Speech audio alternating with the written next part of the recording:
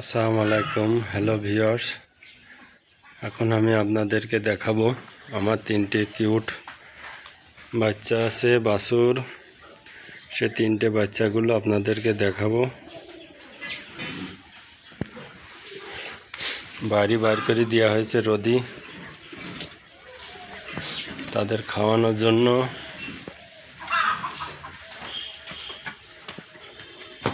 দেখেন কি সুন্দর বাচ্চা এটা